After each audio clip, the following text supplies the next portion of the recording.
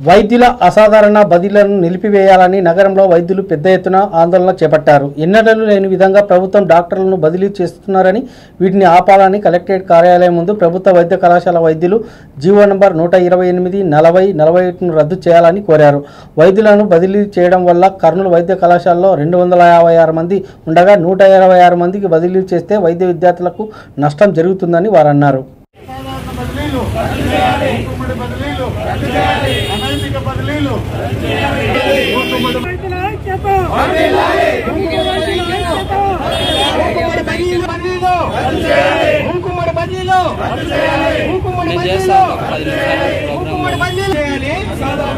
మేము బదిలీలను వ్యతిరేకించడం లేదు. అసాధారణ బదిలీలు మాత్రమే ఆపాలని కోరుకుంటున్నాము. ఈ విధంగా అసాధారణమైన బదిలీలు చేయడం వల్ల ప్రభుత్వ వైద్య కళాశాలలో ప్రతి వైద్య కళాశాల కర్నూలు ఒకటే కాదు కాకినాడ తీసుకోండి వైజాగ్ తీసుకోవచ్చు శ్రీకాకుళం తీసుకోవచ్చు.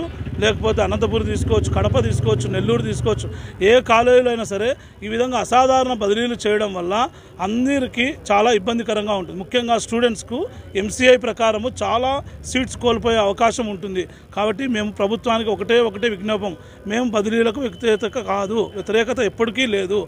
అసాధారణ బదిలీలు చేయొద్దు. ఇంతకుముందు లేనటువంటి బదిలీలు ఎప్పుడు చేయొద్దు. మునుపెన్నడి లేని విధంగా బదిలీలు చేయొద్దు.